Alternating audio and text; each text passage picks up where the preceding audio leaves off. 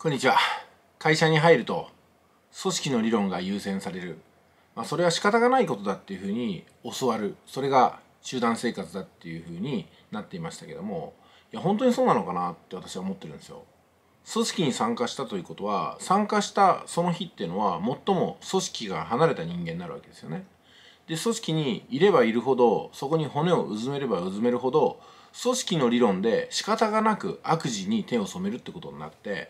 えー、通常それが正義になっちゃうんですよね。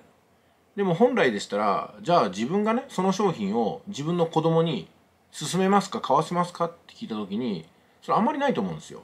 まあまあまたね同じ例を出して申し訳ないんですけどマトリックスアフィレートみたいなのがありました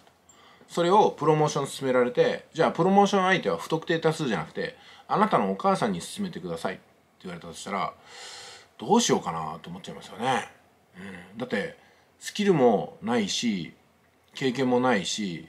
で実際にうまくいくかどうかの、まあ、裏付けも薄いと。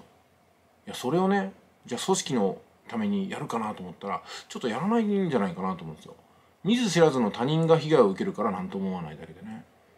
で組織の理論っていうのは談合にしてもそうですけども必要悪っていうね便利な言葉によって正当化されちゃったりするんですよ。で批判しようとする人も常に傷を持つ身だから批判できなくって下を向いてしまうみたいな。である意味ねその組織になじまなかったいわゆるヤンキーとかね昔言う突っ張り軍団っていうのは自分の正義で生きているところがあって組織になじめなかった。で集団生活なんたらかんたらとか言って先生が言うところにあのやっぱ反抗できたんですよね。あのみんながどうしようと俺とは違うと。でそれは貫き通すから組織の理論に巻き込まれずに長いものに巻かれなかったっていうことなのかなと思いますけどもでもそういったねえ景気盛んな若者も社会に出るとやがてどっかの会社で勤めているとね。いつまでもそんな子供人だと通用しねえぞみたいなこと言われてね。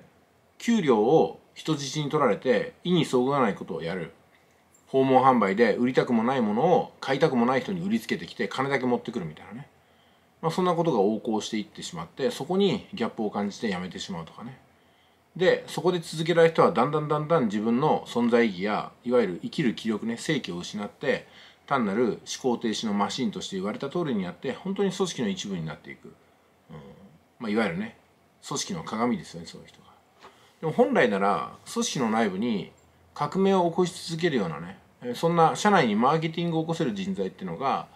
求められているはずなのに、えー、日本っていうのは残念ながらね、うん、良くも悪くもそういう組織体質全体主義で来てしまったんで個人がなかなか尊重される時代にマッチしなかったのかなと思うんですよ。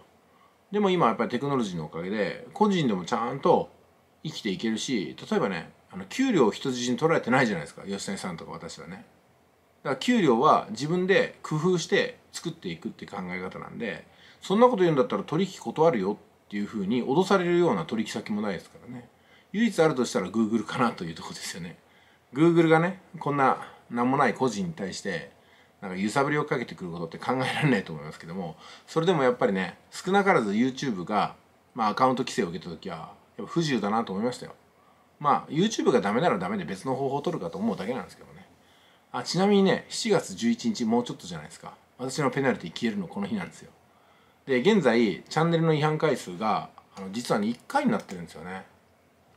本当は2回あったはずなんですけども1回になってうんでだんだんだんだんこうねなんかまっさらな課題に近づいてるのかなと思います。これからね YouTube の、うん、著作権などを守りながらきっちりとやっていこうかと思いますけども。うんなんともかんともですね、うん、まあけど本当個人が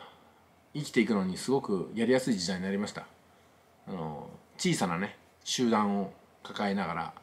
小さな世界で自分らしく生きていくと。ま何もね世界中をパソコン1台で飛び回るみたいなことしなくていいんですよ。いや世界中飛び回りたくないですからね。何て言うんですかね今思えば変ですよね。だって世界中飛び回らないと1億円で作られないんですか？ってそんなこと全然ないんで。インターネットの時代なんでパソコン1台でそれこそ部屋に閉じこもってるのにパソコン1台で世界中飛び回らないとできない仕事って要するに対面じゃねえかみたいなね。